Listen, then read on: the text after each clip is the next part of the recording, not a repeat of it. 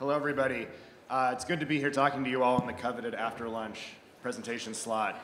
Um, my name is Aaron. Uh, this is a paper that I wrote with who's here on stage, and Miranda, who's right on the corner there in the aisle. Uh, we wrote this together at Upturn in Washington, D.C. Uh, last summer. And I just want to say a note about Upturn. We're um, a small nonprofit based in Washington, D.C. Uh, our mission is advancing justice in the design, governance, and use of technology. Um, and naturally, that work requires that we work in close collaboration with civil rights organizations um, and advocates of different kinds.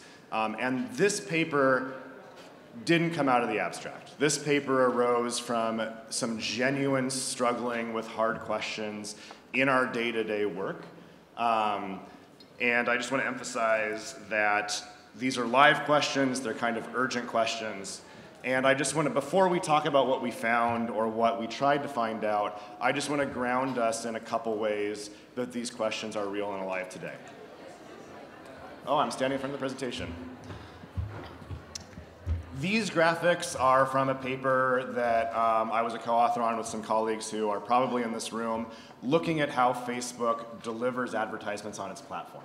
And I want to be clear that irrespective of the targeting choices that an advertiser uses, Facebook will look at the content of the ad and make a predictive judgment about who should see that ad. At the top, um, what you see is ads for top 30 country and hip hop genre music, and then the estimated fraction of white users in each of those audiences, respectively. Again, this is despite the fact that we didn't target these groups. On the right, on the illustration that's probably too hard to read, in short, a job for a lumberjack who's going to go predominantly to white men. A job for a more entry-level kind of supermarket job is going to go predominantly to black women, right?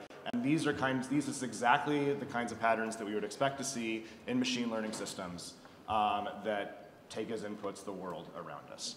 Um, the text in the lower left-hand corner is like, in, left-hand corner here is language from a legal settlement uh, with civil rights organizations last year, in which Facebook committed to engaging with academics, researchers, civil society experts, et cetera, et cetera, to think about this problem specifically. That is to say, the nature of kind of skewed demographic results um, arising from how its ad delivery engine delivers ads.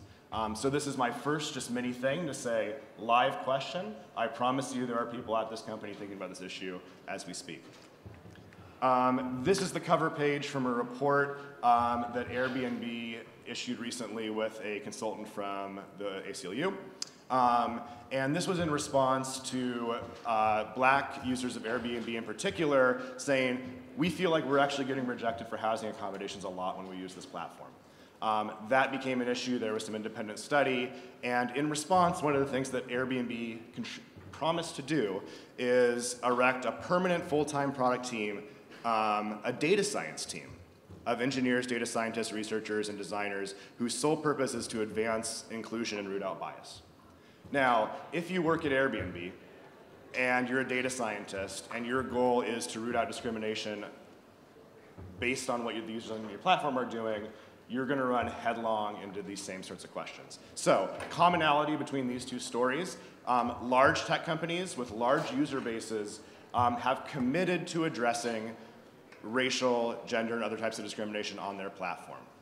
And so that leads us very naturally to the question of when, why, and how should these companies be collecting or inferring sensitive attribute data? Um, those are hard questions to answer. And what we did to try to get some guidance in answering those questions is look to US law and practice.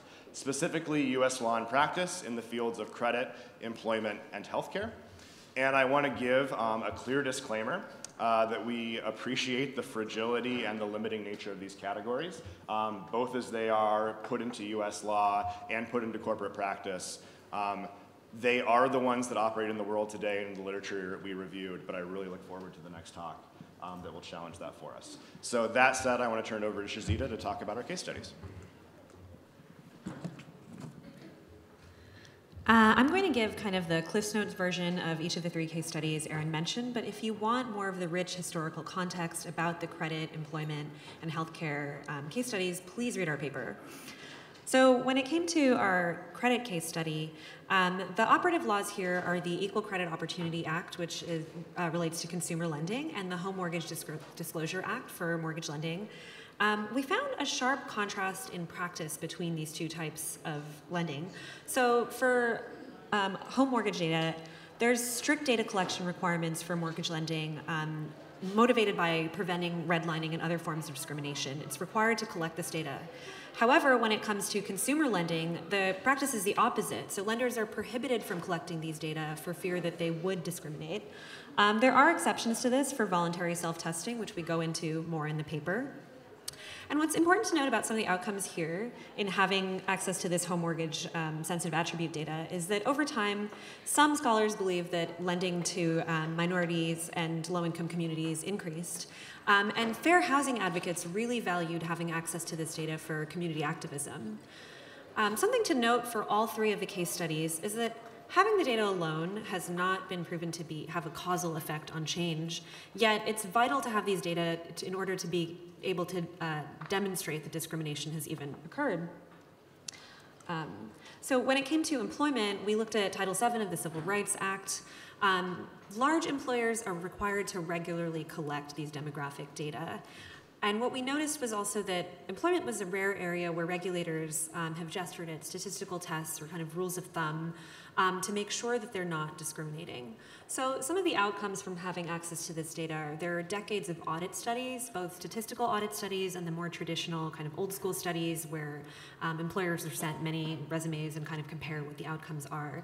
Um, that were able to demonstrate kind of occupational segregation against women and ethnic minorities.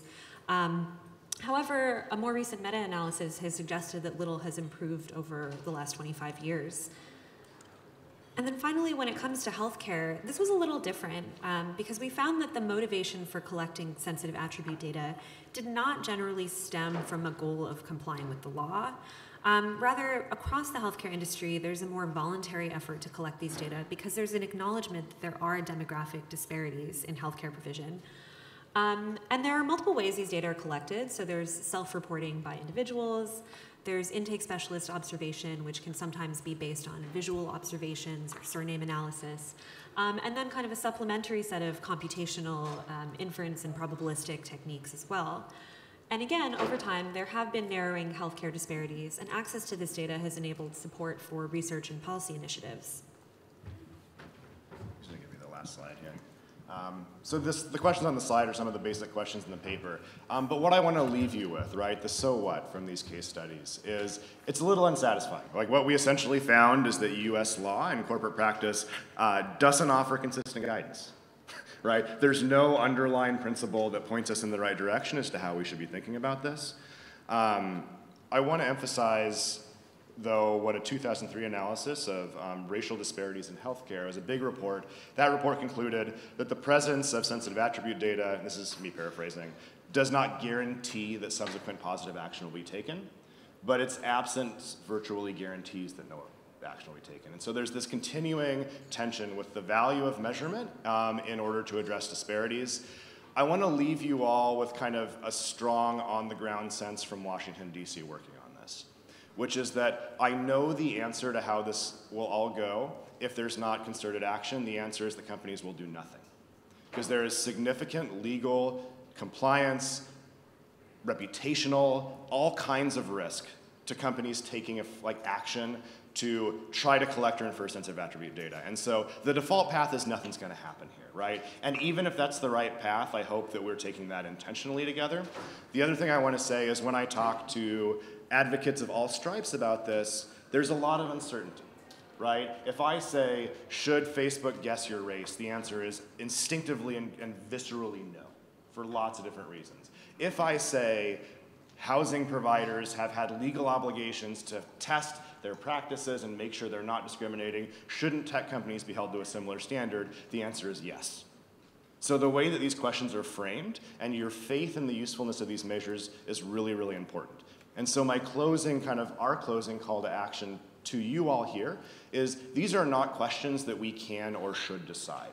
However, I hope that the expertise in this room can inform advocates and communities thinking about the answers to these questions to balance the risks, the trade-offs, um, and the extent to which this is worthwhile. So with that, thank you.